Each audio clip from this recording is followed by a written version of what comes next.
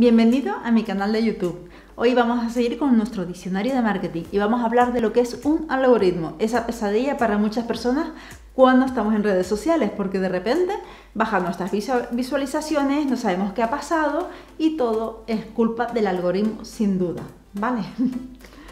¿Qué son los algoritmos de las redes sociales? Básicamente el conjunto de normas de programación que hará que una publicación se muestre mucho o en cambio la plataforma casi no la muestre a ningún usuario. Y también las decisiones de a quién y cuándo se mostrarán dichas publicaciones. Imagínate que vas a publicar una revista. Bueno, pues el algoritmo sería quien decidiría quién va en portada y quién va en la última página. O incluso quién se quedará fuera.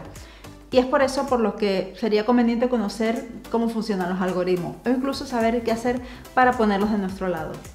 En algunos casos los algoritmos parecen sencillos, se basan en dar más notoriedad a aquellas publicaciones que mejor respuesta tienen, sobre todo cuando hay un engagement elevado, o sea, tú publicas algo y de repente empiezan a comentarte un montón de personas, bueno, el algoritmo entiende que tu, tu contenido es de calidad, con lo cual te va a mostrar más.